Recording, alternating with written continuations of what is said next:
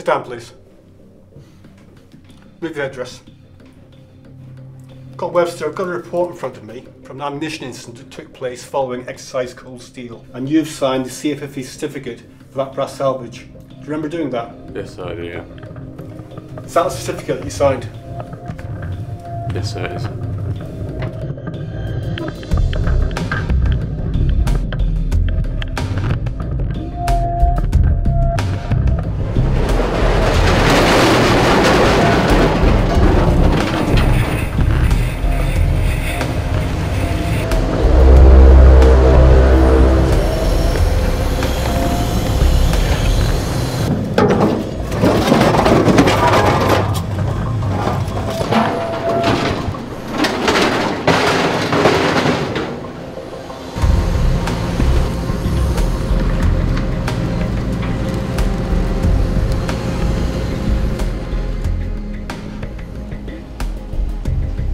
Crane 1, Crane 1, stop what you're doing and leave the area. Weybridge, Weybridge, possible explosive found in loads.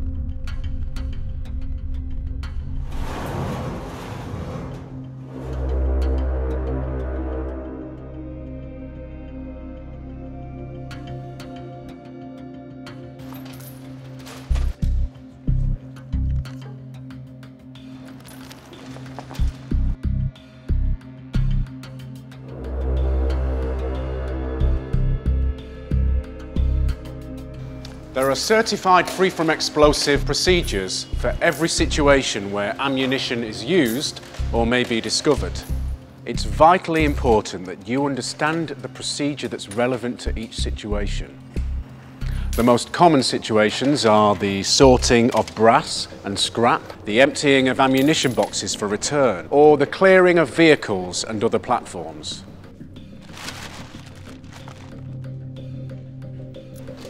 This form certifies that everything you've checked is 100% free from explosives. And if it isn't, well, it's got your name on it.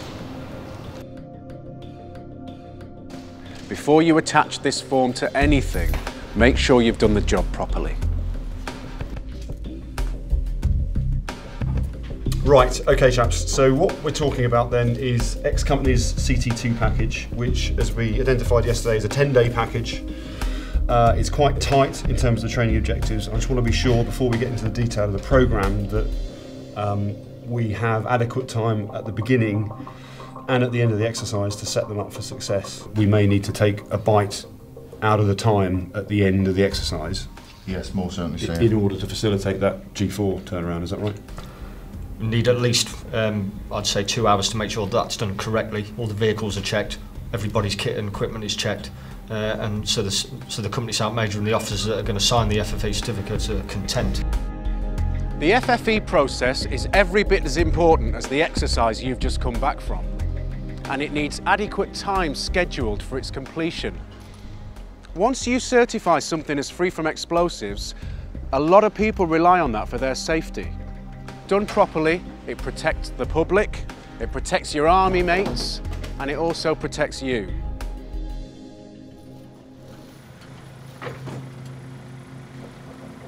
When FFE'd materials leave the base, it heads via civilian roads and sometimes even by air to specialist recycling plants. An accidental detonation in any of these areas could disrupt, injure, or in the worst case, cause a fatal injury to those involved in the transportation and recycling of these materials. If a detonation happens on public roads, it could even pose a threat to the general public. But think about the consequences to you. An FFE violation could damage the reputation of your unit. It could even put your military career in jeopardy. I have to inform you that um, a full investigation will now take place. And following that investigation, if you're found to be at fault, disciplinary action will be taken. Do you have any questions from me? No, sir. Off you go. Every single CFFE E violation is investigated to identify the cause. There can be hundreds of investigations in a year, which all take time and money. So, when you're sorting through ammunition, take your time. Right, whoa, whoa, whoa, stop. That. Do it again.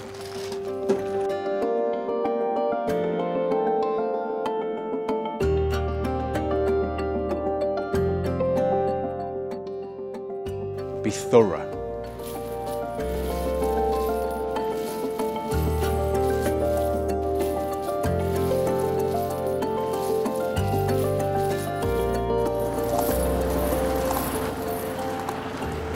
No, mate, just got some lives here. No, no, no, they've been checked. All right, where am I going? All right, cheers.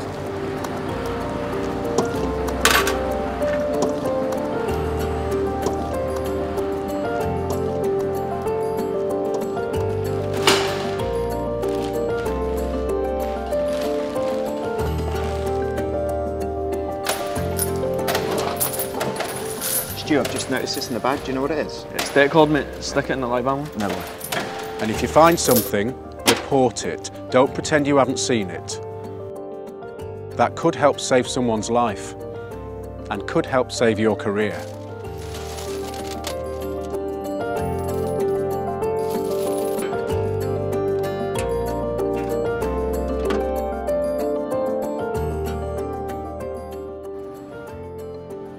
Lads, lads, stop what you're doing. The weather's getting worse. We're going to pack this away, put it on the truck. We're going back to camp. We'll do it there. Let's go.